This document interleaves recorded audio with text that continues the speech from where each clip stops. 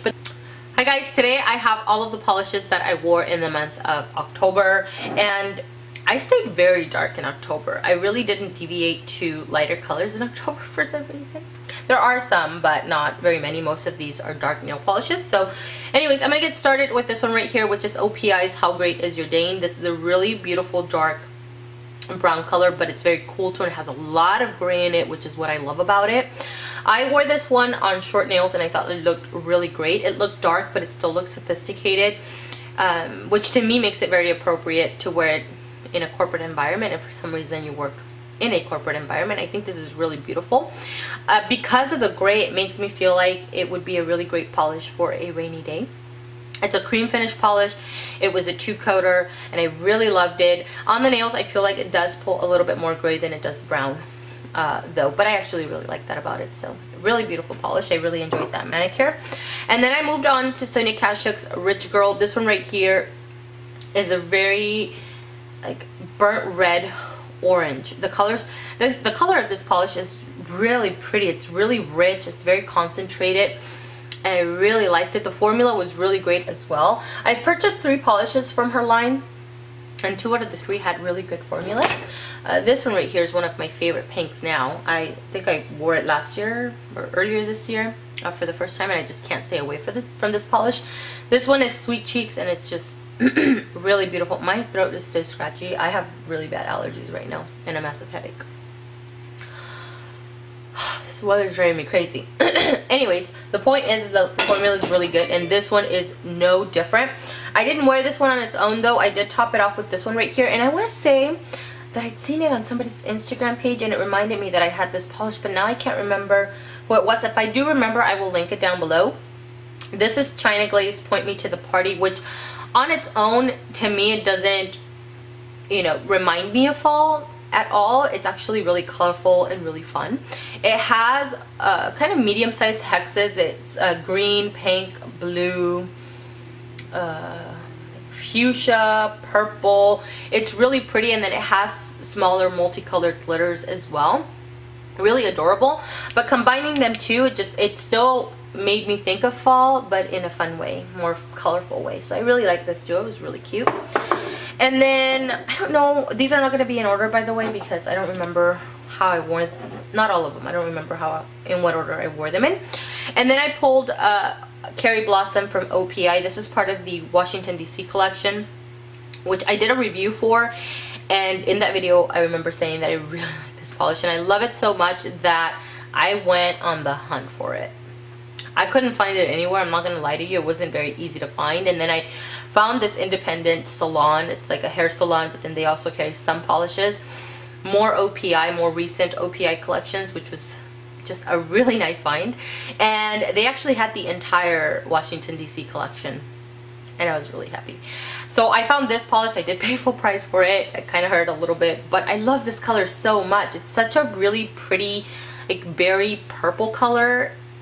It's beautiful. Now the thing about this polish though is that it's it can take two to three coats, anywhere between two to three coats. What I've applied it a couple times and I find that it just depends on how heavy-handed I'm going.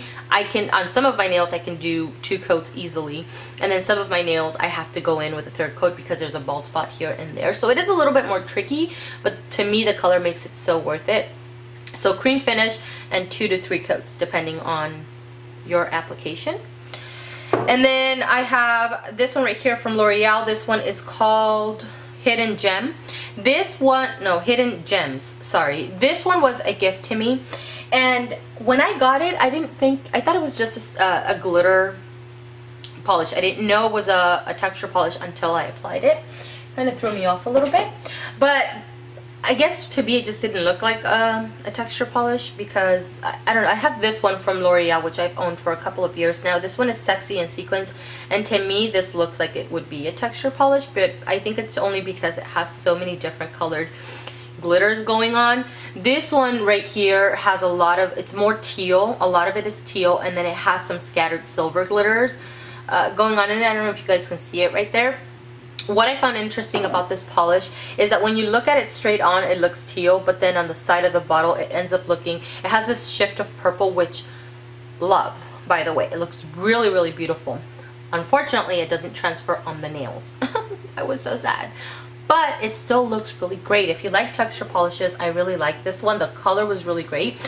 So much so that I'm, I'm actually going to put it on my winter nail polish rack because I think this would be really great for winter just because of the cool coolness of it, because it has the silver glitters. It just reminds me of winter to me. I don't know. Um, you can do one coat one thick coat. I wouldn't recommend that though. I would go in maybe with two coats just because it is already a very thick polish to begin with. Um, so the dry time would just take an eternity. So really beautiful. And then let me move on to this one because I don't remember the order. This one right here is from OPI and this one is called First Class Desires. I hauled this one about a month ago. I want to say sometime in October. Really beautiful. It has a purple base and then it has these micro shimmers or micro glitters that look a little bit olive, a little bit bronzy, a little bit on the gold side, which is stunning. It took two coats to get it fully opaque. The only thing about this polish is I feel like it dulls down quite a bit. So I put it on, put a top coat on, and by the next day it was already looking a little bit dull. I just feel like this polish kind of eats up the the top coat, which is shocking to me because it's nothing like a texture polish, but these eat up the top coat's like nothing. Like it's nobody's business, so it's not even worth it to put something on. But this one does, it just dulls up really easily. So I did have to go in with a top coat every one or two days, you know. I didn't wear it for very long, so I think I only applied top coat maybe once or twice. If I'm not mistaken. Really pretty. I just wish whatever was in the bottle would translate a little bit better on the nails, but still really pretty. And then I moved on to Kermit Me to Speak, which is from OPI. I have a lot of OPIs. I just realized that. Okay, uh, so this is Kermit Me to Speak, which is a beautiful like green and pink duo. Oh, it's I every time I pull this nail polish, I am not disappointed. It's like a little treasure for me. I love I love this nail polish. It looks so great, and to me, because it's a duo, I just feel like it translates a lot better when it's live and be in movement. You know what I mean? I'm to try to wear it one of these days when I'm recording a video so you guys can see it. I do have another video where I have it on my nails, but it was like from earlier this year. Um, real anyways, it's really, really pretty. It is a, it has a very, very thin formula, like super thin formula. Uh, but because of that, it dries instantly. I mean, it does not take very long to dry three to four coats, but again, very thin coats, very fast drying. So it's just a really beautiful polish. If you can get a hold of it, I do recommend it. I just love the duo of this one. It's really, really beautiful. I, I tried going again to my nail supply store and I could not find it. They had it for the longest time and they had backups of it. And then I went back again like a month ago or so and they didn't have it anymore. So I'm kind of sad about it. But anyways, that's that one and then I have this one right here which is every month is Oktoberfest. I mentioned this one in, in, a friend unboxing nail polish unboxing video which I was so giddy because I was so excited. And then I saw this polish and I was just like I lost it. I, completely lost it. I'm so excited. It is everything and more. It's like rainbows and butterflies and it's like a sunshiny day on a gloom you know what I mean? Like it's just it's just so pretty. Everything that people say about it is definitely true. It's very it's like burgundy but bronzy but brown at the same time and it's just so much goodness going on in this in this bottle. I love it. I loved it so much I actually wore it twice back to back because I was just so impressed with it. Great formula two coats. Actually a couple of people Brie was one of them which um, she she gave me this polish. And then somebody else commented um, on my Instagram or in a YouTube video. I can't remember. But they said that they actually found them at a Kmart. So if you have a Kmart nearby, try to check it out.